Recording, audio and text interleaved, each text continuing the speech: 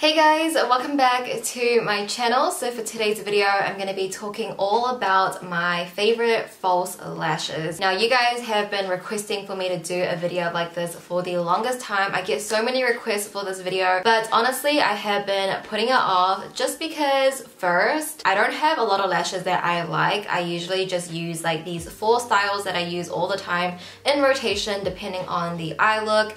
And then second, I'm not the best person with lashes. I'm not the the best person with applying them on. I haven't tried that many styles and brands of lashes and also I don't like my lashes. Um, they're very stubborn, they're very short. I have a fear of curling my lashes. I'm not a big fan of mascara so just the whole lash department. I, I love wearing false lashes but I'm not the best person at it, you know what I mean? So I've been putting it off but you guys more recently have been requesting for this so much so I thought I would just, you know, finally sit down and just talk about my favorite lashes because honestly, they're probably not going to change for a very, very long time. So if you had any questions about my false lashes and the lashes that I like the most, I'm going to talk about it today. I'm also going to give you a demo on how I apply my lashes. I don't know how helpful that it would be because like I said, I'm not the best person at it. I'm also going to show you how I like to reuse my lashes, how I keep them clean, and just how I make them last as long as they do.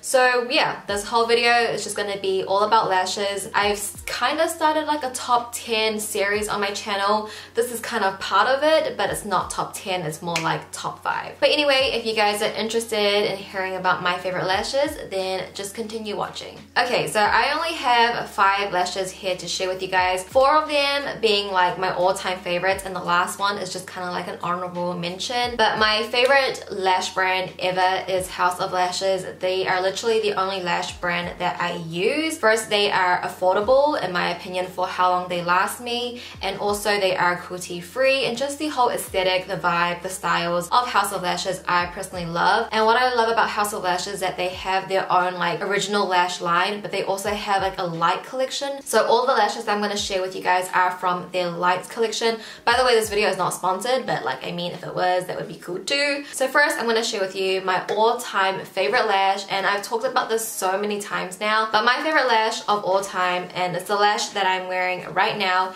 it is the House of Lashes Boudoir Lites. Yes, I have four pairs that I'm holding up. These are actually all brand new. These are my backups. So I have four backups of Boudoir lites. That's just how serious it is. I have two on hand that's like in rotation. It's the lash that I'm wearing right now. These lashes are just the lash that I think go with every single eye look. It just makes my eyes look so damn good. It makes your lashes look so full all around. It's almost the same length but in the center it's a little bit like just a teeny weeny bit longer and it just makes your eyes look a little bit more almond. Whenever I'm wearing like a dark intense smoky eye um, this is a lash that I will go to. I really really do like the lite collection a lot more than the original. I feel like for the original the lash band is a little bit too thick and because my eyes are so like rounded it's hard to get the edges to stick down. But with the lite collection the band is a lot thinner and a little bit more flexible and it's easier to control. So I really like the lite collection. Obviously I do cut them down a lot. I like these lash the most on my eye shape and it's the lash that I wear the most depending on the eye look. If I'm gonna go traveling I will only bring door lights with me. Like these are just like my favorite. Also with the lite collections you can get them in a bundle where you save money. So if you buy three lash I think it's like $30 and you save like $6 I mean $6 is still a lot of money to me. And for my second place lash is the Iconic Lites from House of Lashes. I feel like Iconic Lites is the most popular lash from House of Lashes. The original Iconic is probably a little bit more popular, but again, just the original one, the band is a lot thicker. It's harder for me to get them stuck onto my lash line. So I do have one backup of this, and you know when you have a backup of a lash, you know it's that good. For the iconic lites, these are like literally the most perfect cat eyelash.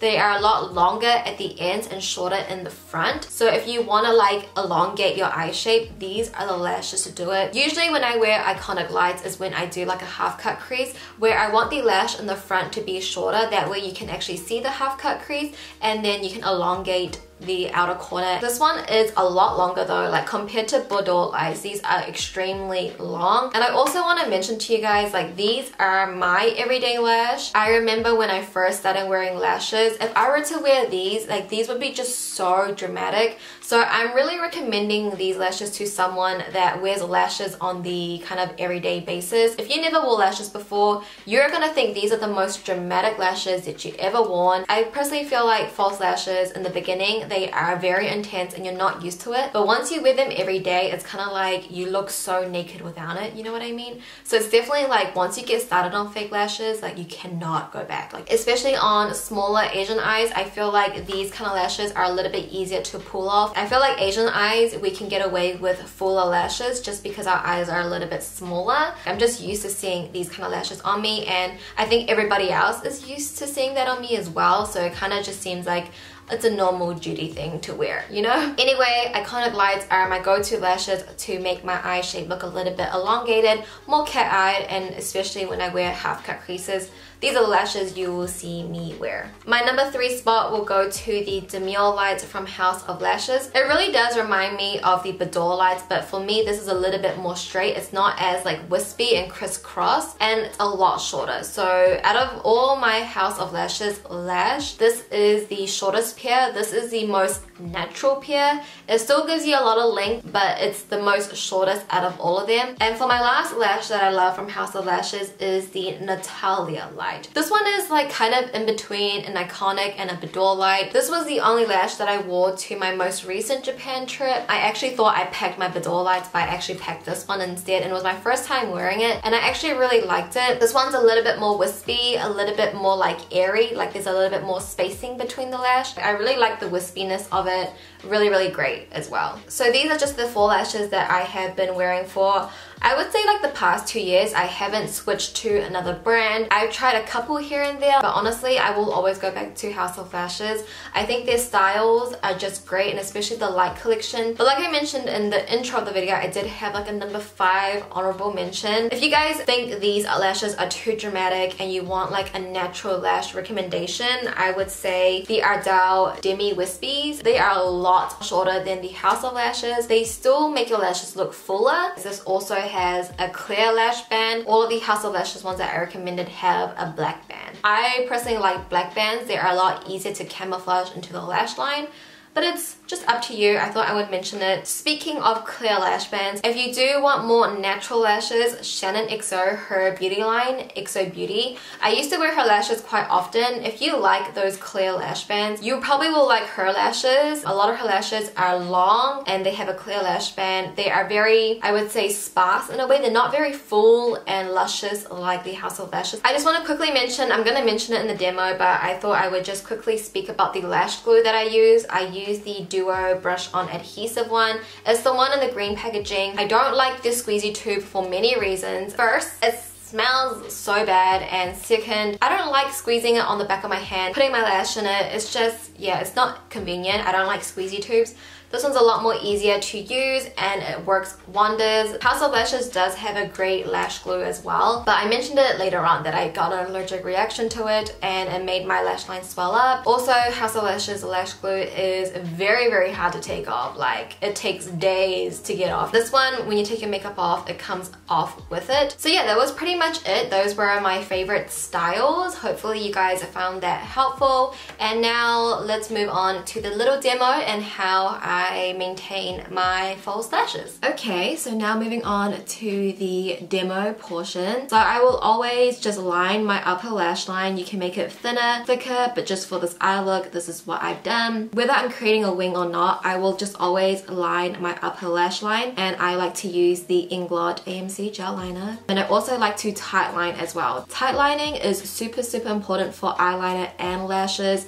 It just covers up the skin. It doesn't look as natural. You just want your lash line to be completely black and dark. I also use the gel liner to tightline as well. So with that being said, I am now going to apply some lash glue to my lashes. I am going to be wearing the Boudoir Lites from House of Lashes today. For my lash glue, I am using the Duo Brush On Adhesive with Vitamins. It's the green one, it's the one with the brush tip. I've used the House of Lashes one before and that one is really really good. Like the staying power is amazing but I had like an allergic reaction to that. I don't think I'm allergic to anything but I was allergic to that lash glue. It made my whole lash line swell up and I don't think I'm the only person that got an allergic reaction to that lash glue. I think Lustrelux Katie she had the same problem. So what I pretty much did is just applied a very thin layer on the lash band and you can see the lash glue it is clear and it's kind of like a light blue. So I'm gonna let it get tacky and just let it kind of dry up a little bit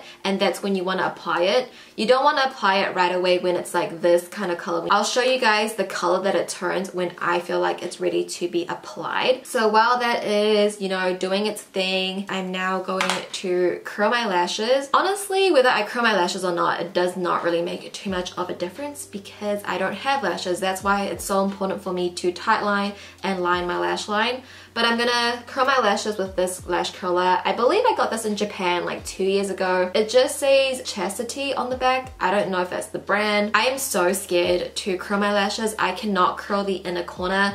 I want to get a new lash curler. Like this one is good, but I've heard of other good ones like Sophia Chang just recommended one in her latest video. And then I will apply some mascara. I'm actually going to be using the new Colourpop one today. It's my first time using it today. This one is the shade black on black. Usually I use my Too Faced one. The brush on these look very very similar. So I have a feeling I'm gonna like it because the Too Faced one is my favorite. This is not supposed to be a Colourpop mascara review but here we are. I'm just gonna coat my lashes with this Ooh, this is nice.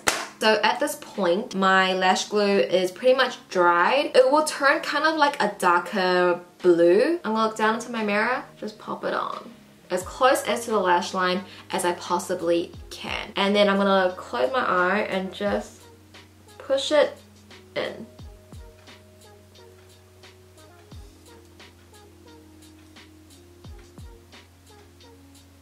So now I'm just grabbing this tool. I got it off eBay years and years ago. Again, it's there's no brand. It says Koji on it, but I don't know if that's the brand. It's just off eBay. You know, you can just type in small lash curler. But this is what I use to kind of clump my lashes and my false lashes together. I mean, it doesn't work like a 100%, but for the most part, I would say it works like 70%. Because the mascara is still a little bit wet and tacky, it's really gonna stick to the false lashes. You know, when I look to the side, you don't see them like sticking straight out. I mean, some of them still do, but what can I do? I don't know how to curl my lashes. Also with lashes, it's honestly just practice. Because the way I put my lash on this eye, I actually use my finger and my tweezer and I have to use this mirror here. Gotta use two hands, but with this eye, I can pop it on with one hand. And then lastly, I'll just go back into my Inglot gel liner. I will take this little thin brush here. It is just a paintbrush. And I will use this to go over my lash line. If there's any lash glue peeping out, I just like to go over it once again. If you are using new lash lashes, obviously you want to snip them and you want to make sure you snip them from the outer edge, not from the inner corner. Keep that in mind, but obviously I've been wearing these pair of lashes for ages that they are already fit to my eye shape. I also think the older the lash, the easier it is to apply on. If you are applying a new lash, I think the first time you apply it, it's going to be the hardest because first you need to measure it and the lash band is a little bit stiff, but the more you use a lash, the better it gets in my opinion. Just keep that in mind, like don't be so discouraged discouraged if on the first try if you don't get it right. Usually the lash band does take like maybe a couple times of wear to be like very very comfortable and that is it.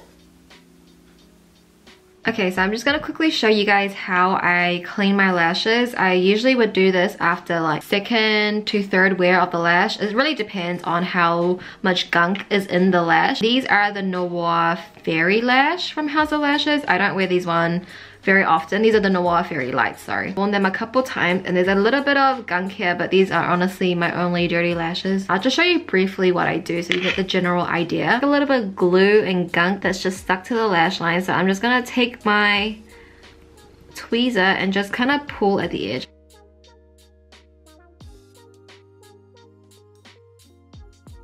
You don't want to pull too hard because sometimes you can rip off the lash.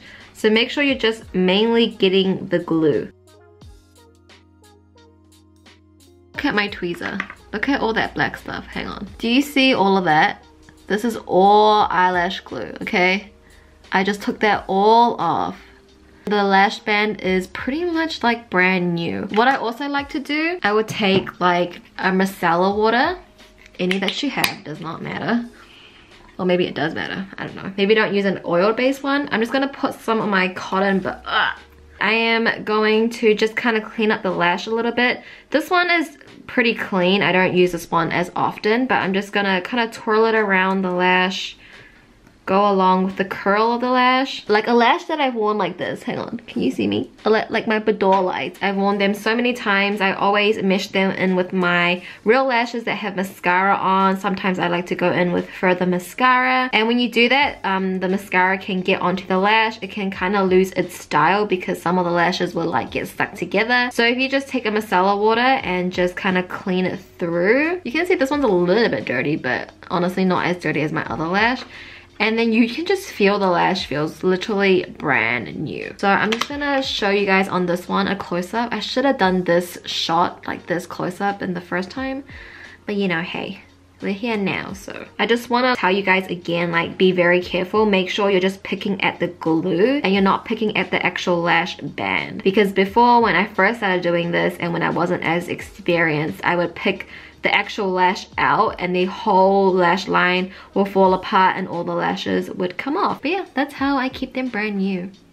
Alright guys, so this is going to conclude my video for today. Hopefully you guys found it helpful and it was worth the wait. If you guys did find this video helpful, give it a thumbs up and that is it for today's video. Thank you guys for requesting this video and also thank you for watching as well. Please subscribe if you haven't already. I love you guys and I will see you in my next video.